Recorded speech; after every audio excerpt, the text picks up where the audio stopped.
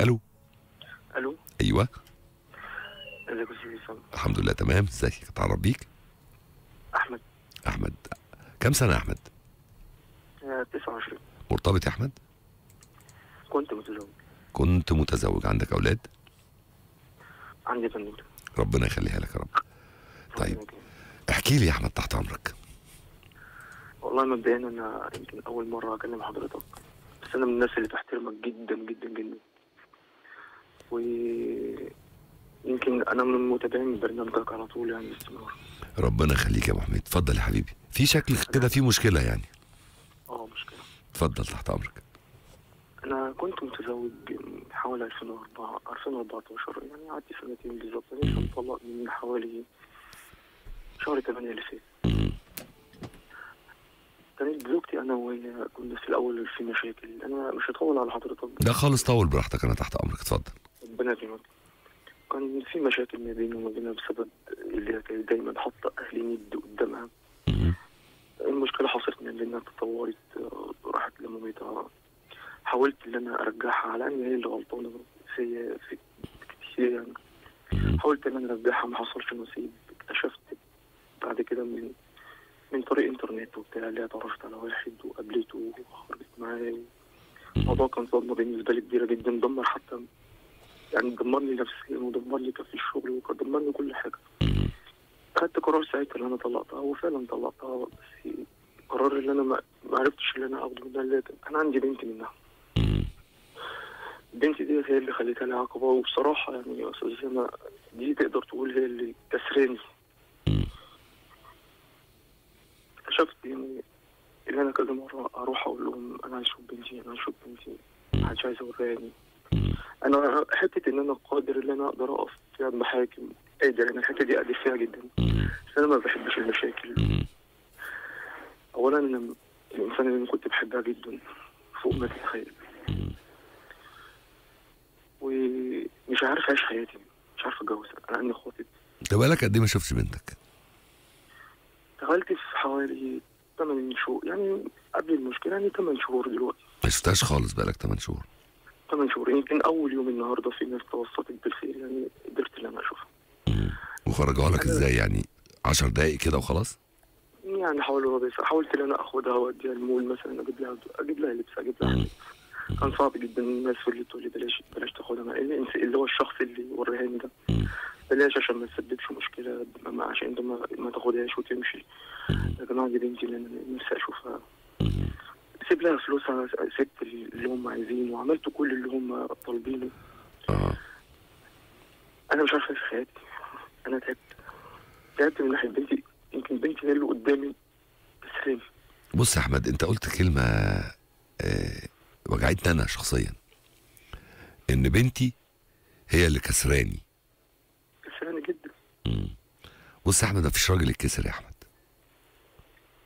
أنا معلش اسمع مني كده اعتبرني أخوك كبير. اتفضل. مفيش راجل يتكسر.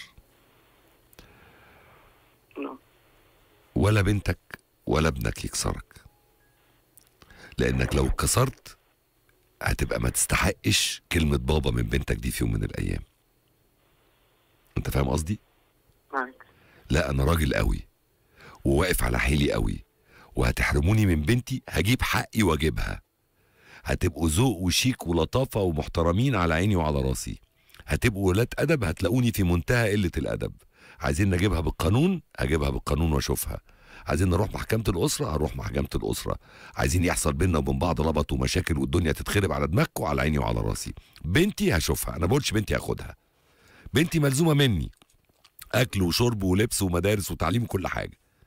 إنما تقولي لأ تلو دراعي مش هتوروني بنتي؟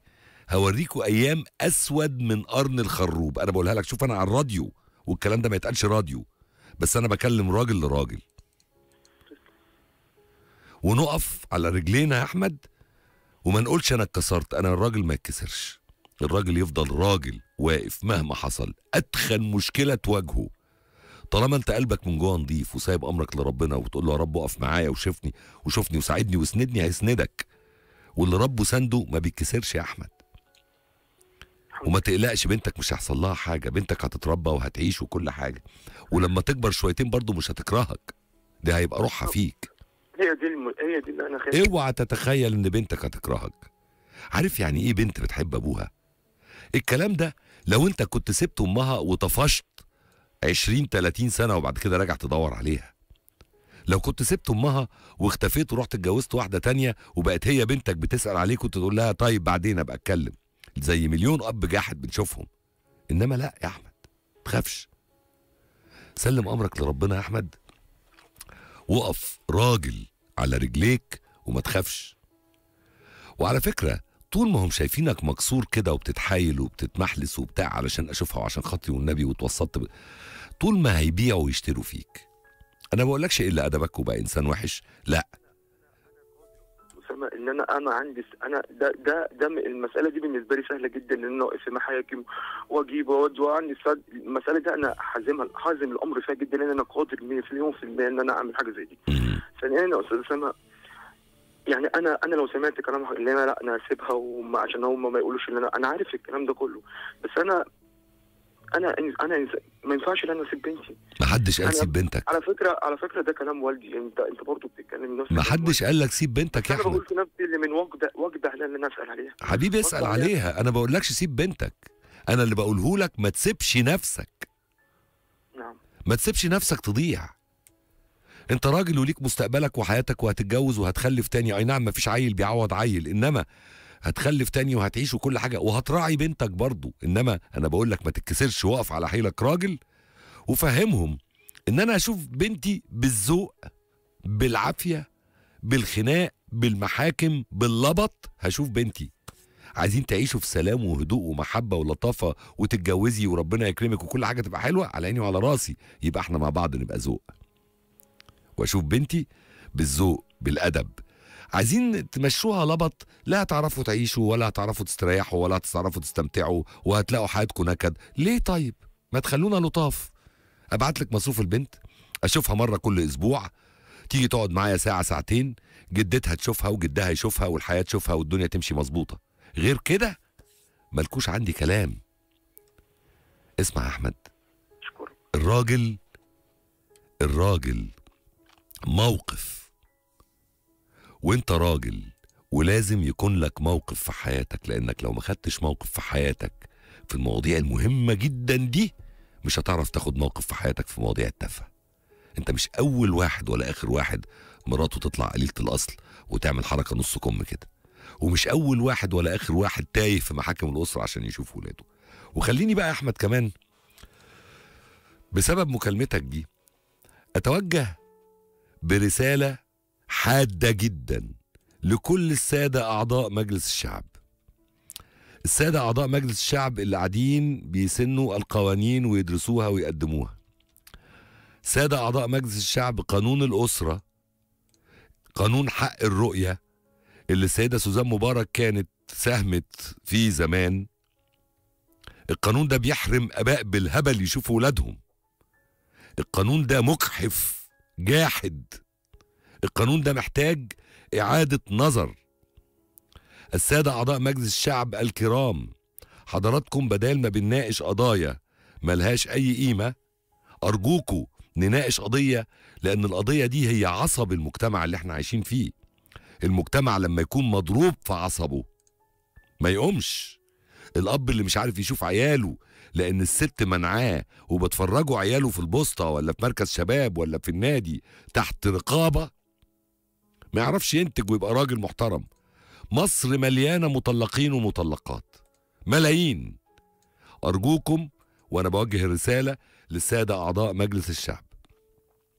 ورسائل كتيرة بقدمها من برنامج أنا والنجوم وهواك وبوجهها لزمايلي الإعلاميين وبيطلعوا بعديها بأسبوع وبعش- بأربع أيام وخمس أيام يعملوا الفقرة دي في التلفزيون. أنا ما بنسبش ليا إن أنا بقول أنا صاحب الفكرة خالص.